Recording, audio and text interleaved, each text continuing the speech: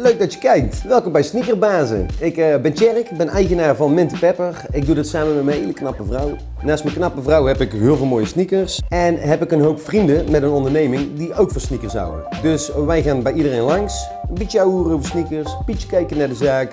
En enjoy the show jongens. Die uh, MX-90 Infrared heb ik inmiddels ook gewoon een tatoeage van. Ja, het is toch stiekem gewoon, ja, voor mij echt een belangrijke sneaker. Ik moet wel heel eerlijk zeggen, er zijn een paar colorways vind ik echt goed. Heel veel vind ik eigenlijk een beetje ordinair. Daar was ik zo blij mee. Helemaal afgetrapt. Anderhalve maat te klein, want ze hadden mijn maat niet. Scheid, ik liep daar gewoon op pijn in je tenen, jongen, na een dag. Weet je wel, dat je thuis komt en gewoon de tranen van geluk in je ogen springen als je ze uittrekt gewoon. En die stelts heb ik toen gekocht volgens mij. En toen was mijn geld op, man. En die white mensen kon ik kopen. ik heb hier een uh, Mosje Runner uh, staan. Dit ken je niet. Niemand, denk ik, in Nederland. Zijn er maar weinig. Uh, Mosje is een, is een customizer in Amerika. En toen heeft hij zelf een runner uitgebracht. En dit is de Mosje Runner 1. Ja, ik volgde hem denk ik al jaren. Ik vond natuurlijk dat customizer vond ik leuk, dus dan volg ik dan. En dan kwam die runners uit. Hij heeft ook een panda runner gedaan. ik haat met die panda. Ja, Margriet, mijn vrouw, die heeft uh, dus die ook die 1.0 gehad. Het ze op een markt voor een tientje verkocht. Dus? Ja, dat is een jaar voordat wij verkering kregen. Ja, ik zei, ik moest me toen kleden voor een bruiloft van mijn uh, tante. Ik had gewoon zo'n korte witte overseas broek aan. Gewoon een veel te groot blouseje. En dan droeg ik daar die, uh, die Chuck Taylors met die vlammen eronder met keihoge zakken. Hè fucking hard, jongen.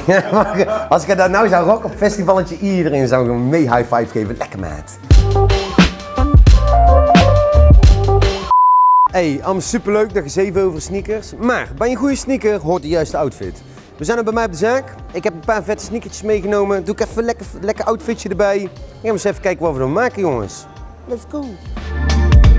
Mint Pepper is een uh, idee van Margriet eigenlijk, van mijn vrouw. Dat heette toen Mint Fashion Store. Dus ik begon in die tijd me ook steeds meer te bemoeien met de kleding. Ik heb toen, later heb ik Pepper bedacht. Dus zo is Mint en Pepper eigenlijk een beetje ontstaan. En ja, dat is eigenlijk zeven jaar geleden en we zijn er nog steeds. Allemaal sneakers wegdoen of de winkel sluiten. Wauw. oh ja, dat is met pijn in mijn hart gaan die sneakers weg, man. Wij hebben hier zo hard voor gewerkt. Ik ga dit nooit van mijn leven wegdoen. Wij zijn een uh, Scandinavische kledingwinkel. Tussen de 30 en de 45 jaar. Een beetje de young professionals die een eerste leuke baan hebben. En ook een leuk salaris verdienen. Die zich gewoon echt eens even met goede kwaliteit, in goede merken, leuk willen kleden. Ja, die komen eigenlijk naar ons toe.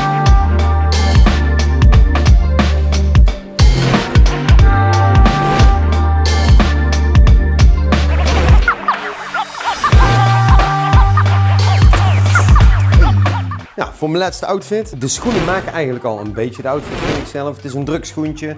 Er zit wat zwart in. Nou, dat vond ik vet om eigenlijk met het zwart door te gaan.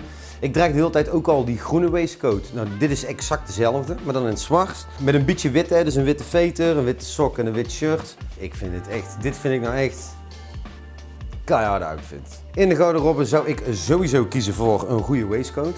Zoals je kan zien, ik kan het eigenlijk op alles dragen. Ik vind ook gewoon bijvoorbeeld, uh, stel je voor je zou een hoodie pakken.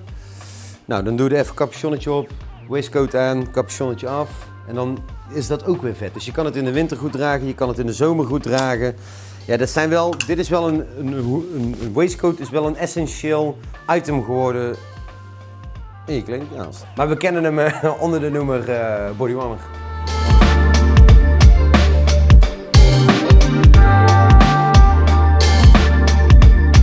De eerste aflevering is een feit van Sneakerbazen. Leuk dat je gekeken hebt. Je kan ons volgen op Instagram mintenpepper.man of mintenpepper voor de dames. Van dinsdag tot en met zondag zijn wij te bereiken op de Heuvelstraat 125. Houdoe!